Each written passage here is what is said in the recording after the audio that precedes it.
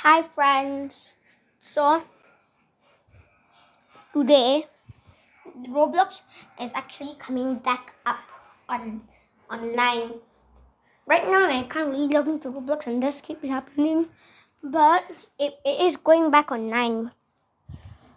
So uh, some players have uh, have already been getting back into Roblox the root problem uh, it's on it's on social media the the news is on is on roblox's social media or whatever. I'm not really sure what they use again.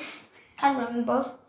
But mm, on the social media i think uh, it says that and they say that the root cause of the shut the of the shutting down of roblox is that there was an internal system issue causing Roblox to shut down for a while.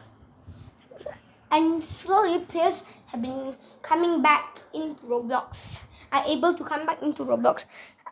Right now I can't really get into Roblox and my sister also can't.